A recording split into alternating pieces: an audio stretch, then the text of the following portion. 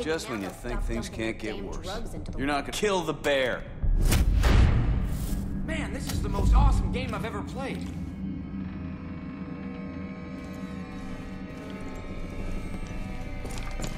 Never seen a place so